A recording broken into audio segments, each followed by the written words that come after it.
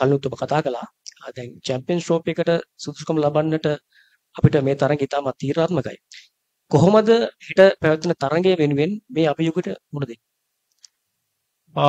ඔව් මේක මේ තරඟයේ ඉතාමත් වැදගත් තරගයක් අපිට චැම්පියන්ස් ට්‍රෝෆි එකට ක්වොලිෆයි වෙන්න පළවෙනි අට ඇතුලේ ඉන්න.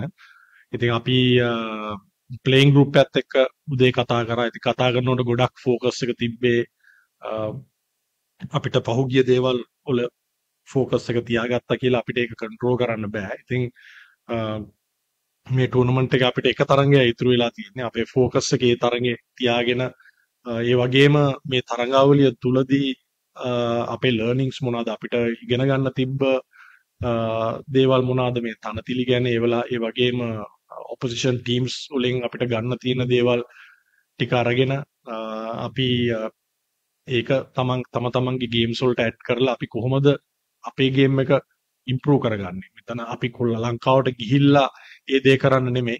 අපිට දැන් ඉඳන් ඒ ඒ ඒ process එක පටන් ගන්න. මොකද අපි already tournament එකෙන් out.